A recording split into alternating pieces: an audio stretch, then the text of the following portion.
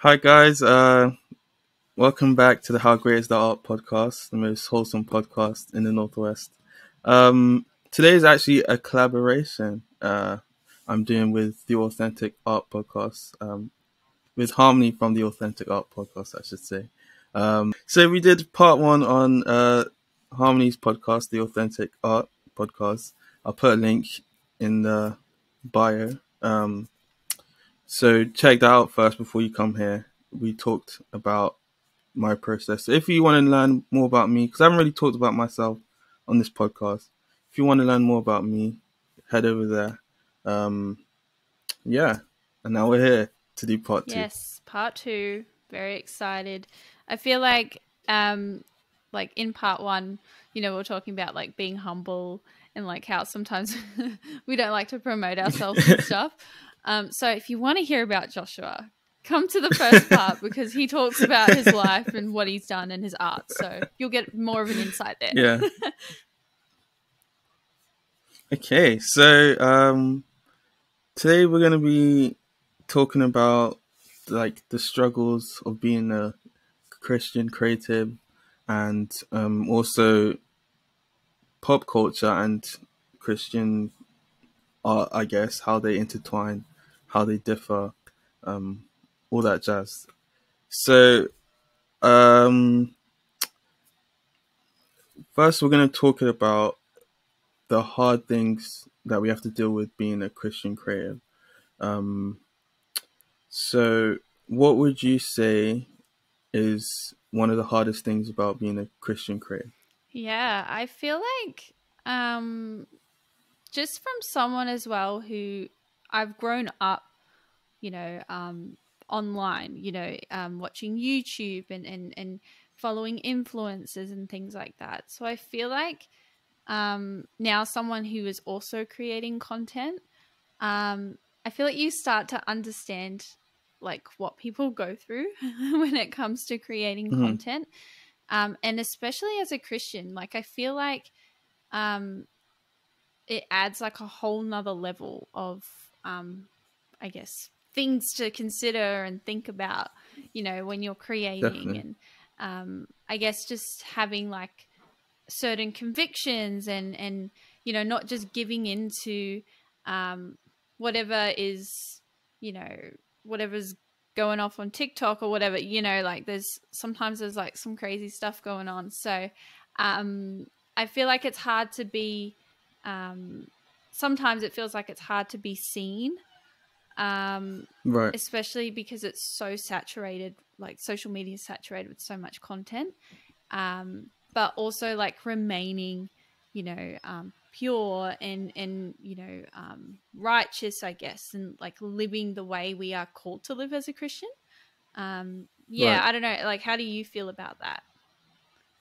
I definitely agree with that. Um, because there's definitely been times where I I'm just like, like, it's like maybe I should try this, and I know I shouldn't, but it's like because I just want my work to get out there so people can just like it's like come, yeah, like come in. definitely. um, so yeah, I, I, get that feeling. Um, uh, I'll say it's a lot to do with humility as mm. well.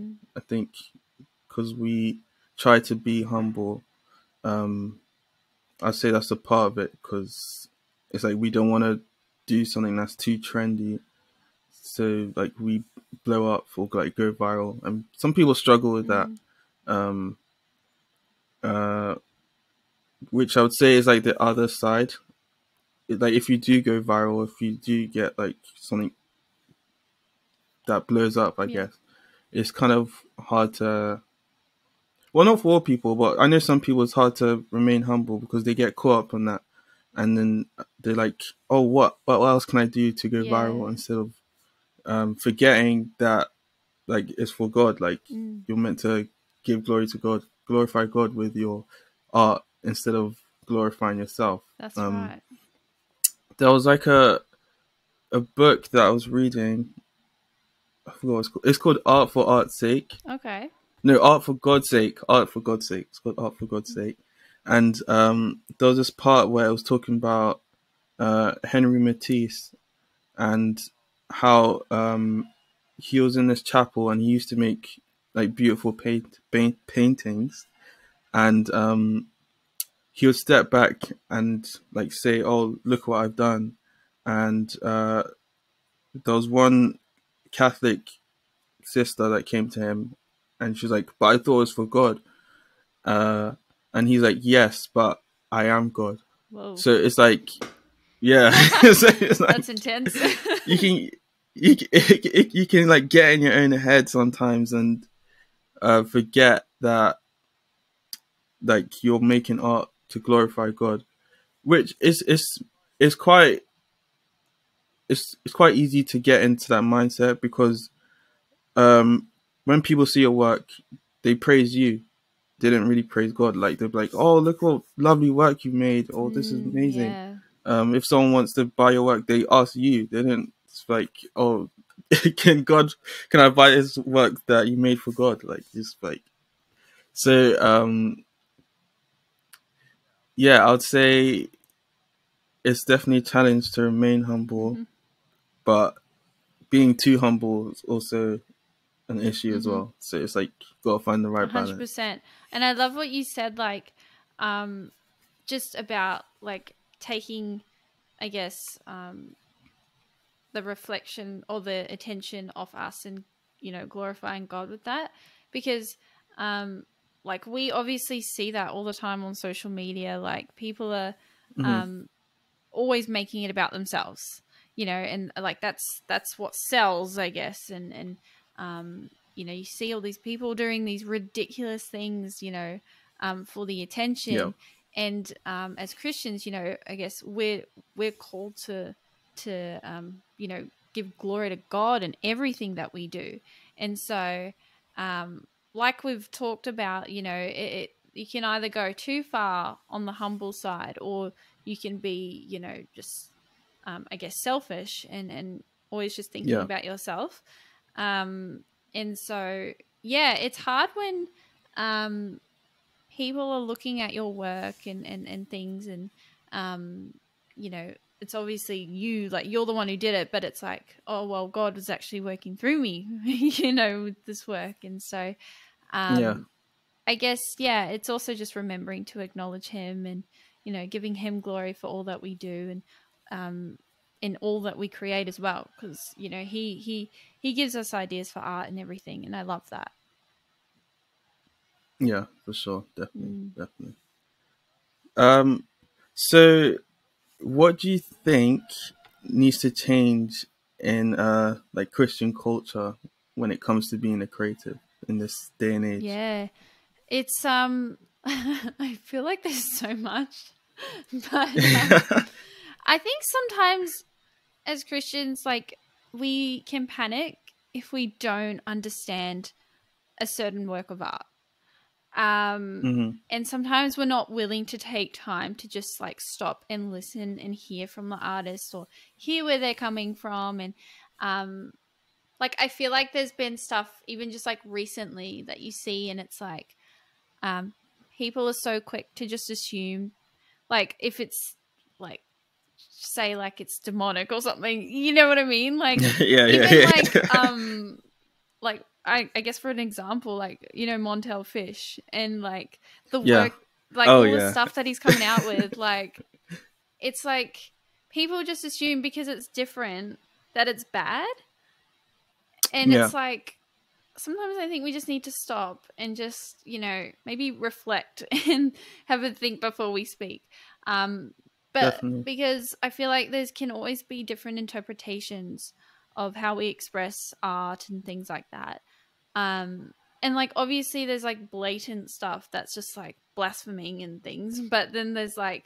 um i think it's hard for sometimes for people as christians and creatives to you know express things um differently because i don't know like people freak out like if it's not the normal of what we would see in Yeah. christian art um so that's like one thing i just wish people would like just just stop for a second and just you know yeah, yeah. um, I don't know, like pray about it or something, you know, like just um ask God, invite him into it and, you know, see what he's trying to reflect in this work or something. Yeah.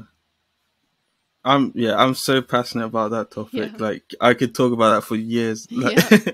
Cuz I I agree so much. Like I've seen it especially with the Montell Fish stuff. But I've yeah, I've seen it. Like people just like, if it's not overtly Christian, like people get a bit they're like, oh whoa, what's this? Like is like they want to be so comfortable in their position that like anything that looks a bit different, they're like, whoa, like this is yeah, like this is bad, this is wrong. Right. But like that's not the case. Yeah. Like um even like abstract mm. art you can glorify God in abstract art, even though you can't see anything that's like specifically Christian. Um, I had uh, an abstract artist on my podcast a couple episodes ago um, called Lennox Green. He was like a Christian abstract artist, oh, yeah. and um, the way he was explaining it to me, it just made so much sense because it's like um, abstract art it kind of reflects the abstract nature of yeah. God. Like we don't understand everything about yeah. God, but there's certain things that we know that He lets us know, and that's with like abstract art too. So like we can identify colors in abstract art. So you can say, "Oh, that's blue, that's gold, that's white." Um, in the same way that we know certain things about God, like um, the promises He's made to us, or, or like yeah, that kind yeah. of stuff. But um, at the same time, there's this sort of like ambiguous nature or this like abstract nature which we don't know and we can't we won't really ever know it's the same way with abstract art there's so many interpretations mm. we can have with that art um so yeah that's like one way that art that's not overtly christian can still glorify god in that that's way that's so true um, i love that yeah and like um yeah, I think a, a beautiful thing as well is like God has given us these gifts and like we can we can incorporate those gifts into every area of our lives. And so mm-hmm. like if we're going through something like we all go through struggles and things like why shouldn't we be allowed to use those gifts to process you know what we're going through you know like God, right, god's right. given us these gifts for a reason and so to be able to write a song about what I'm going through at the moment, or to paint a, a painting or like an abstract painting, um, or to create something digital, you know, whatever it may be, or to take photos, you know, um, mm-hmm. like why like what's wrong with that? You know what i mean? Right right. Um it's a really beautiful thing that we can utilize these gifts in so many areas in our, our life. It doesn't just have to be like one one thing in particular. And like I feel right. like that's something I've learned as well over the years because I feel like I used to have this guilt where I could never use my gifts um, unless it was in church. And I don't know where I came up with with that idea, but it was always there and I was like like I used to feel guilty. I would have all these awesome ideas and brainstorm things and I was like, "Oh, but right but oh no i can't do that you know I, I can't be using that because i need to be focusing on what's going on in church and i need to be using it here and um i i don't want to like go off topic or anything but i feel like um one thing i've learned is like with church you know that's that's within community like you're creating within that community and then um right. i feel like god also gives us um uh, art ideas and creative ideas, you know, just for ourselves, you know, to just be able to create. Um, like I said, it's like the beauty of um, being able to use our gifts in so many different areas. And so, um, yeah, I just think that's a just a cool thing that we can do um, as creatives, and we don't have to like we don't have to have guilt about it. You know, that there shouldn't be a guilt yeah. there to use your gifts in other areas in life. Yeah, because I think art art's main goal in pretty much everything, or at least visual art, is to reflect the life of the artist, yeah. or like at least how they see the world. And if your relationship with God is like good and solid, um, then that will come out in your art regardless. 100%. So you don't have to try and think of things um, like the inspiration will come, and then you just make the art. So it's even as sim- something simple as painting in the sky, that could still reflect God. Like maybe it um, documents a time that you're praying and then you just looked up at the sky and then you're just like, oh, let me paint yeah. the sky. Um, but to people, just like, oh, this is the sky. Like, yeah. there's but, so much more to it. yeah, yeah, it's still, and God made yeah. the sky, so it's like it's still glorifying right. God. So, yeah, so to the people that on the other side that may think that they need to make these overt Christian artworks in order to like make Christian art or feel like a Christian artist. You don't necessarily. You can. I'm not saying you you don't have to. I mean, I'm not saying that um it's bad if you yeah, do. Yeah. You yeah. can.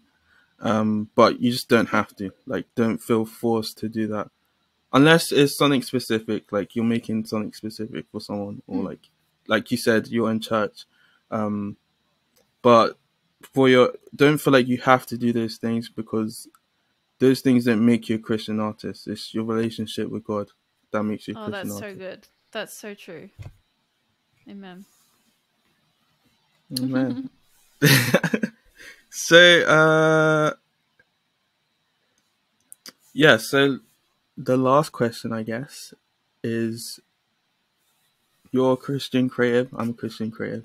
So what piece of advice would you give to someone who's trying to get in the industry or is like starting early in the industry? Yeah, um, I feel like there's so many things I guess we could list and we could talk about. Um, I feel like just the first thing to do is just start. You know, like just mm-hmm. start creating. Just just take some time out and just um, just paint or, or, or draw or or take photos or take videos, like whatever it is. Um, I've been having a friend of mine I've been talking to recently. Um, you know, we've been sharing about, I guess, just how to just create stuff just for fun. And I'm like, you just got to do it.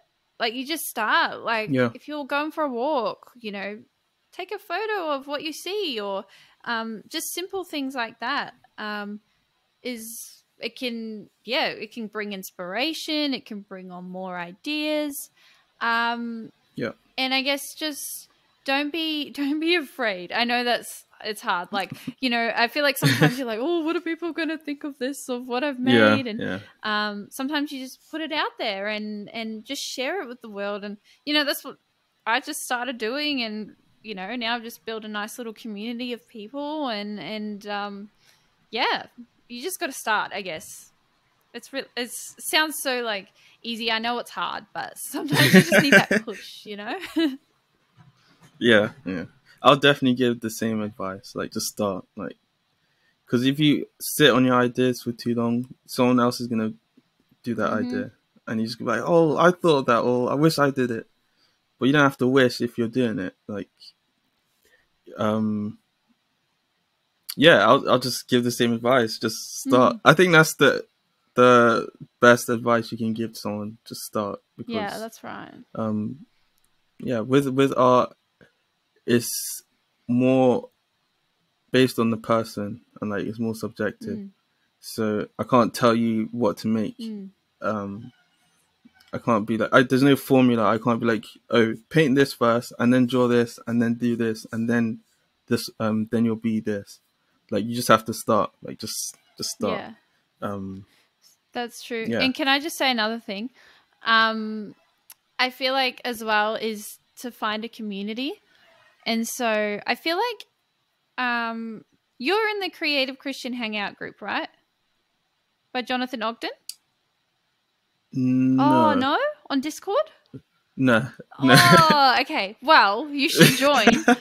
um Yeah but like just find people who maybe are in the sim like similar areas as you in similar industries um i feel like mm-hmm. i've been able to connect with a bunch of people um from all over the world on that you know discord group um who are all yeah. creatives you know and they do all different things and people share what they create share what they uh, make or things that they like and and um yeah you're able to build friendships and connections there because I think when you have that support system as well, um, it makes it a lot easier. You know, um, it Yeah. makes it makes it easier to create, and and you know, you've got people you can kind of bounce ideas off, and and just share your visions and what what you want to do. You know, um, in the future and things like that. So community is also very important. Yeah, yeah. Because I, I have a, um, I'm in like another Discord, which is is kind of the same Mm. thing. Um, it's uh, do you know Darla? Oh yeah, yeah, yeah. Yeah, so she has one uh called like the Salt Studio. Okay. Uh, that one's quite new Hmm. though, but I'm yeah, I'm in that one. Um, but I, I definitely do need to join CCH because I, I, thought keep hearing we, about it. connected. I keep hearing about Really? it. Um, okay, I just assumed yeah. you were on there because, like, all the people that you know we, we follow Oh, and no. we know, they're all on there. So you need to get yeah, on there. That's so funny. yeah, yeah, yeah. I definitely need to get on there. I, I I keep hearing about it. I've heard a lot of things. I've heard a lot of references like Yeah. oh CCH, and I'm Mm. like, oh yeah, I've heard of that. Yeah. No, it's cool. Like Okay, I like I'm not always on there, you know. Sometimes it can be um like there's so many people on there, which is awesome. Oh um gosh, but yeah. like sometimes it can be like overwhelming You're going through all the notifications and stuff. Um but yeah, like I'll just take time out to maybe allocate a bit of time in the day. You know, just go through, see what people are making, what they're creating and you know, you can get some inspo from that as well. And um I'm Mm. pretty sure they have like a collaborations section too, so people network with each other and things like that. So yeah, it's pretty good. Yeah, sounds Hmm. good. Yeah. Well, um yeah, I'd say that's we can wrap up there. Uh thank you, Harmony, for doing this with me. This was really fun. Uh I enjoyed it a lot. Uh I definitely have to bring you on again because uh this was a bit too short, you know. We need a longer episode. I know. Feel like you have a lot to we say. We could talk about so much more. I think yeah, we'll Yeah. do another collab, um, and we'll we'll talk even more. but this was Yeah, so good, and definitely. thank you so much for having me on here.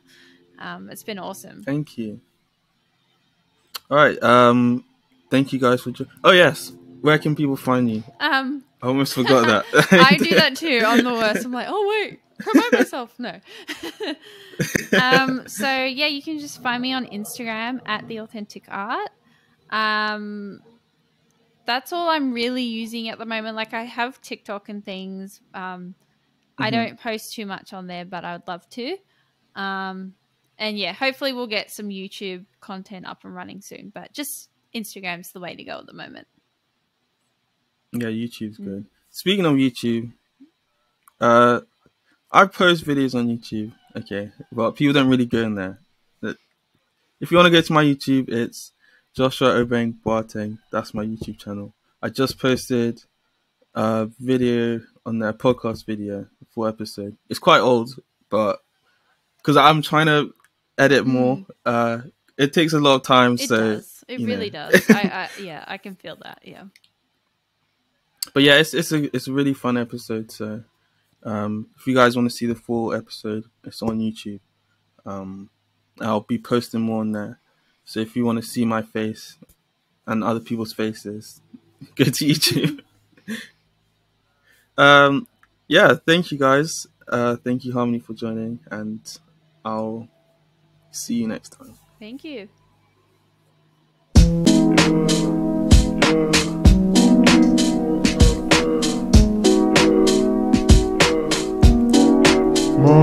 そう。